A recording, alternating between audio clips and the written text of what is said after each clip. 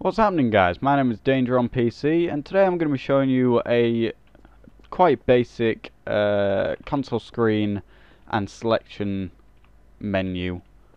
Um, so what we're going to have by the end of this is a y-axis and x-axis along the console screen. It's going to select the different x's and the corners and we're going to have it printing in chat what quadrants we're in. So let's get started. Um, how you set this up, I had a 2x2 stone plate, which you can find just there. Uh, a console screen and the expression 2 chip. So, let's get started. We can delete uh, the newbie text and the trigger and persist. Uh, just put a name of basic console screen or something along those lines, you know. Something that is meaningful. So first of all, we're going to need to create our wire link. So we're going to do WL wire link. Then we need our buttons. And then what we're going to want to do is we'll want to make a count variable. Now you'll you'll understand this a lot more later on. The uh, count variable. Uh, it'll all make sense soon. So we're going to make some. We're going to make some strings first to put around. So we'll have WL write string x? Now we're going to put them in different corners of the um, of the console screen. Now the console screen is 30 in, in the x-axis and 18 in the y-axis. Uh, I'll just show you what they are. That'll just error. So it's th uh, 30 going that way and 18 going down that way. Okay. So this first one, let's go back here because it errored uh, we're going to have it 29 0 now you're going to want to take one off at the end so it's got a little bit of padding around it. Uh, then we're going to have it in white and we'll have that there. Now all we need to do is just copy and paste this for all four corners. Um, we'll put this at 0 0 0 17 because we take one off the y-axis again and we'll have 29 17 so if we go back on let's just hook up our wire link. Where's my wire advanced? So we'll have our wire link, and there we go. Now, um, just for future reference, because we're going to be changing the background colour to show selection, uh, we're going to put a grey background. Now, grey is 333, so let's just add them in, and there we go. Right, now let's get down to doing the axes. Now I'm just gonna section this off. I like to keep my code neat, so I just use sections.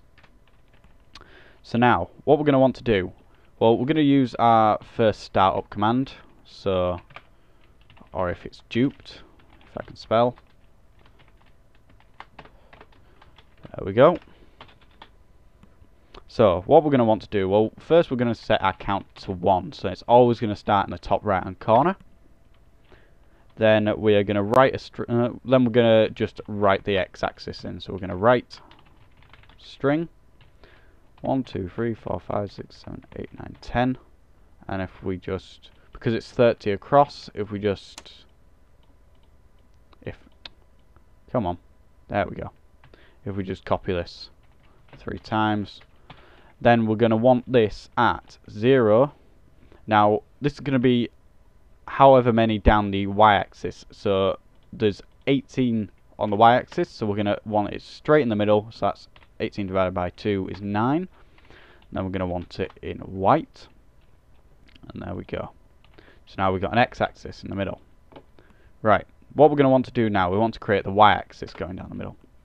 So, what we're going to do is, because we can't put a straight down line going down the middle without some sort of loop to do that the same on every single uh, part of the same row. So we're going to use a for loop. So for i is equal to 0 then we're going to have the range that it's going to go in so it's going to be 17 and then we want in increments of 1 so we're going to have that there now, this is future thinking. What do we want the design of this to look like? Now, I would prefer that it doesn't have a straight line coming down here in the middle. simply because that's just it'll look better if the x-axis overlaps the y-axis. So we're going to have if i is not equal to 9, then we're going to have our writing of strings. So I have WL write string, then we're going to have a straight line. Then we're going to have so how many along the x-axis? Well, there's 30. So 30 divided by 2 is 15. And we're going to use our i variable. Then we're having a y in no background. And that should create a y-axis going down the center, like so. Right. Well, what do we want to do now? Well, we want our actual operations first. So we want our code to actually work. We want to be able to select um, our segments. So we're going to have we'll spawn in our buttons now as well. So spawn in our buttons. So we'll go to uh, button here. We're going to have an up button. We're going to have a down button, and then we're going to have an enter button. So if we just Y these up, so we have up to up, down to down, and enter to enter, like so. Awesome. So what we're going to want to do, well, first we're going to want to change our background to show that our our thingies, uh, oh God, what they're called, our corners have been selected. So we're going to have it changed to a red. So what we're going to want to do is take 333 away from uh, 900. So we're going to want 567, I believe that is. And then we're going to want some sort of boolean to be able to actually um, select it on or off whether it's selected or not. So there's a nice little um, uh, mathematical formula that can select this for us. So here's how it goes. It goes count is divided by 1, floor division of 1 divided by count, and that's literally it. But then we want it knotted at the beginning, like so. So what we're going to do, we're going to copy and paste that into the rest of these. And there we go. Now, yes, they are all selected. Uh, ah, that's why, that's why. We need to change the numbers at the front here. So they're all different selections, like so. And then that should be, yes, that's the only one selected. So, now what we're going to do is we're going to make it operate using our buttons. So, we're going to use, uh, we're going to do our up button first. So, if up and count is uh, less than 4, then we're going to say count plus plus. So that's going to add 1 to our count. And we're going to have an else if down and count is greater than 1. Count minus minus, so that's going to deduct 1. And we're going to have another else if enter then we're going to have it to print. You are in quadrant. Then we want our count variable at the end like so. Awesome. Now that should work.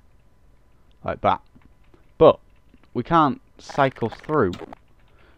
So once we get there, we can't go up anymore. And once we get to 1, we can't go down anymore. So we want it to go in a circle, basically. There is an easy way to fix this we're going to take this count and we're going to put if count is greater than 4 then our count is going to be equal to 1 so that's just going to cycle back to the beginning and then we're going to do the exact same here. Make sure that you flip the signs or it won't work and it'll bug out. So just to emphasize that here you need to flip the sign so it's a uh, less than sign and then we're going to have count equals 4 like so close bracket and then that should theoretically cycle through, like so. So guys, um, ah, I'll show you that also the enter button, it does paste in chat. You're in quadrants, and it works for all of them. So anyway guys, that is a basic console screen and selection menu. Hope you guys enjoy, make sure you like and subscribe. Uh, leave a comment below with any issues you had, I'll try and fix them and help you as much as you can, and comment any improvements you have. Uh, and I'll see you all in the next video. Peace.